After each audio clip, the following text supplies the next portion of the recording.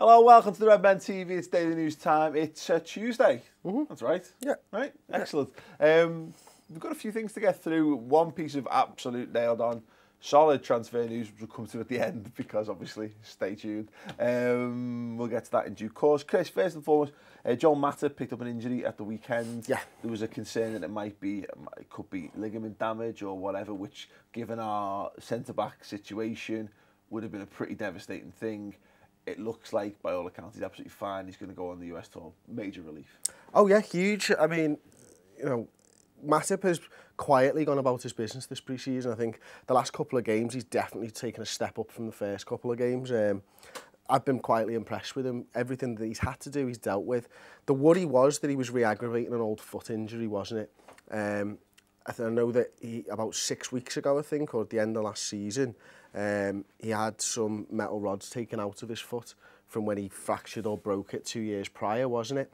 And he was obviously feeling some pain and discomfort around that. The worry was that he's re-aggravated because it's this, it, it, this would have been the third time that he's re-aggravated that, that injury. Uh, thankfully, the scans have come back now and said that no, it's no problem, it's just a little pain, a little bit of bruising, nothing that he'll need surgery for and stuff like that. So I think that's a really it's a huge thing for us. It doesn't stop the fact that we're still going to need centre-back cover because Look, we're obviously, we'll come on to it later in the show, I'm sure, about the Ragnar stuff. Best name ever, by the way. Uh, but one of the things that I think people are forgetting is that Matip is going to, probably going to the African Cup of Nations in January. So we're going to need strength and depth in that position anyway, because it would literally just leave us with two. And we don't know what Gomez is going to be coming back like after such a long time out and then re-aggravating an injury. Yeah, no, absolutely. I think it's it's like anything, you can you can get some, you can build positivity through pre-season, but ultimately, if your new signings get injured in pre-season and can't start the season, then you're starting the season how you ended the last one. And that doesn't mean I don't think we'd be in a bad position per se because of that. You know, we're not starting Basel, are we? Exactly. Yeah. I don't want to do that again, no, Paul. No, but you know, but the point is, is that is you know you end up with exactly the same squad, and we might choose to do that. We might choose to start a very similar eleven that we ended the season with, but that's by choice. When it's enforced, does just take a little, you know, takes a little bit of the edge off you, it deflates you a little bit because you're thinking, we've got these new guys, what are they going to do? What are they going to bring? Oh, it's the same team that we had last year. Whoop de fucking do. Um, so no, we, we, you know, obviously still a few games left to play in pre-season, so fingers crossed and all that. But that's that's good because someone like him, like centre back, big lad as well. we've talked about this about guys developing a partnership. Oh, I'd like him and Lovren to play every single game in pre-season, as much football as possible, so when they get to this new season, it, it, there's a fluency in the partnership. Of course, it's massively important with centre-backs. We've been banging this drum for years now, haven't we? Mm. So one of the big things I want to discuss, and I don't, I don't know how solid a piece of news this is, because it's from the Daily Mail, which, you know, it, it's not about immigration, so... Um, you know, who knows? Who knows what the driving force is behind this? Um, they, what they're saying is, obviously, you talked about the Georginio Wijnaldum deal yesterday. Still looks like it's on by all accounts. Good video, wasn't it? It was excellent. Was it was it excellent? Let me know in the comments below, and I will go from there. Um, they they're talking twenty five million pounds, but there's now talk, according to the to the Mail, that uh, we could offer the likes of smells like bullshit. Smells like bullshit. Smells like bullshit. We could offer Lucas Leiva and John Flanagan um, to reduce the fee. Now, I think the Flanagan part of that is complete bullshit because I think there was the Echo was saying last week or the start of this week saying how Flanagan is very much part of Klopp's plans for this season. The Lucas thing, And maybe that's just the two and two together. I think we know uh, Benitez tried to sign him when he was at Napoli. He's the guy who brought him over to England in the first place. He will. He does love Lucas Leiva. Really loves him. I don't think that's outside the realms of possibility. That could that could still happen. I, look, it could. It could, of course. I think the Benitez thing might be a draw for Lucas Leiva. You know, he's obviously well liked by Benitez. I'm sure Lucas feels the same way of, of Rafa Benitez because of the opportunities that he was afforded when he was Liverpool manager. But I, I don't see Lucas going anywhere that's not a top division in their country, to be perfectly honest yeah. with you. And I think Lucas, after his career and, and the performances that he put in last season alone, says that he should be playing in the top tier of whatever league he's playing in, yeah. whatever country he's playing in, sorry. So I, I wouldn't be massively surprised, but I would still be a little bit surprised if he did take the drop down to championship. Yeah. Uh, maybe maybe Rafa could sell him on the idea of being part of something for the next few years and Newcastle could bounce straight back up, but it's not going to be easy. It's a tough division to get out of. Well, it's interesting because I, I, I wonder whether... I, I, someone like Newcastle's an interesting example because it's not like he's going to, you know, a mid-table championship team. I wouldn't expect him to go to a, a, a championship a championship team under general uh, general situation. But it's the Benitez thing. It's the fact that he's a top class manager. He should Rafa shouldn't be in charge of a championship side. So that kind I think that kind of does skew things to some extent. And he's clearly building a, an effective team to get himself out of the out of the division. Look at the players he's brought in. Very canny moves. Lucas could actually. I think Lucas could go in be a defensive midfielder in the championship. And have an absolute whale of a time. I think he, you know he would be one of the better players in the in the entire division if he was to do that. And then you're looking at you, got, you come up comes back up to the Premier League after one season or whatever. I, I you know, I, I, for me, he's probably going to move, and then you look at it again where he's going to get. I don't know where who would have him that would take him on decent wages that would get him a good level of football. There probably would be some takers, maybe Italy. I don't.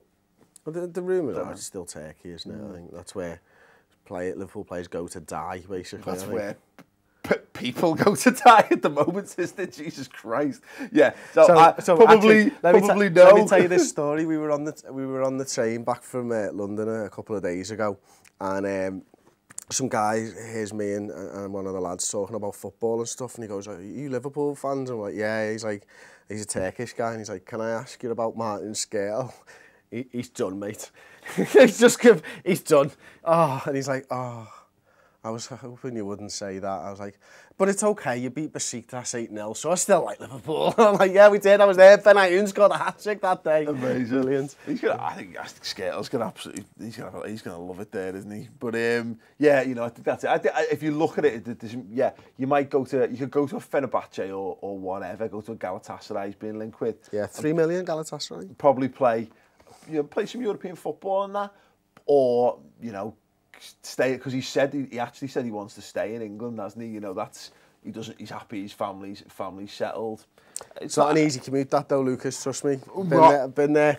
Don't recommend it as a commute. If but, it's raining. Know, no, no, no, chance. Don't recommend no it as a commute, but nevertheless. But it's interesting one. Let us know your thoughts on that. In fact, is there anyone else within the Liverpool squad who you think you would put up as a um, a potential swap deal if you wanted to knock money off uh, any Gini Wijnaldum um, transfer deal? Well, we can do a straight swap for Ladza.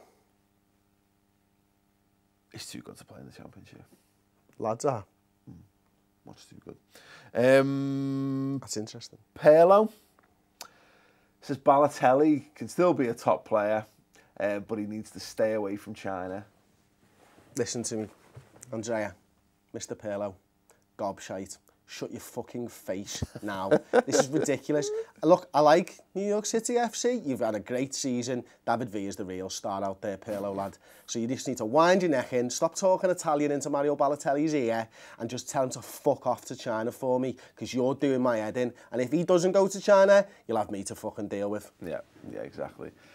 Yeah, I, don't, I, I, I feel that Pirlo hasn't factored in the fact that we want some money for Mario Balotelli into his, oh, Balotelli can turn his career. He's basically saying that he needs to go, if he goes and, and turns his career around at his next club, choose it wisely, you know, in three years' time, if he builds his career up, he'll only be 28 and he could go and move back to a top, top club again.